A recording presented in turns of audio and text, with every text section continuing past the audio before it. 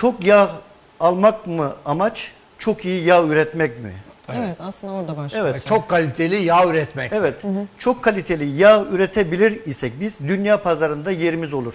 Biz yaptığımız bu işi layıkıyla yapmaya çalışıp olması gerektiği aldığımız eğitimlerden, bilgili çalışmalardan, işte zeytinyağındaki kayıpsız o süreci nasıl yapacağımızı bildiğimizden dolayı katma değerini yakalayıp pazarımızı öyle oluşturmaya çalıştık.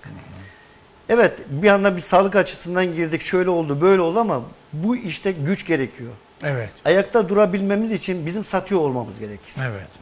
Pazarın hazır olması Evet lazım. öyle bir pazar maalesef bi- 2015'te yoktu. Türkiye'de ilk polifenol üreten 3 üreticiden bir tanesi biziz.